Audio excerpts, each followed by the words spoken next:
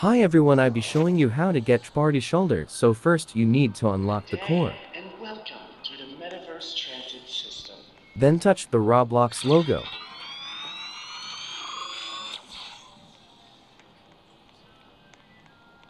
Then click on this.